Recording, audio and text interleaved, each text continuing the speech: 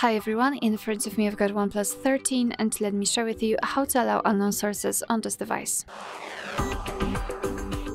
So let's start with opening the settings and here in this general list we have to scroll down and find security and privacy. Then let's scroll down again and enter more security and privacy scroll down and find installation sources. So here we've got the list of apps which are allowed or not allowed to install some content um, and of course we can change it. All you have to do is tap on the specific um, on the switcher on the specific app and your device will ask you if you really want to do it. Um, be aware because you're doing it on your own responsibility.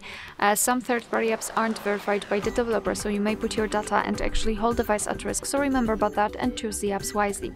All you have to do then is to tap on allowed and uh, in my case the Chrome is uh, now allowed to install something.